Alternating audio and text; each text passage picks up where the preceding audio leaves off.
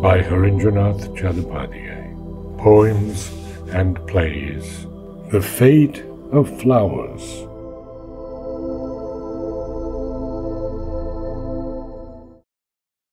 Alas, alas, they are selling roses there in the crowded mart.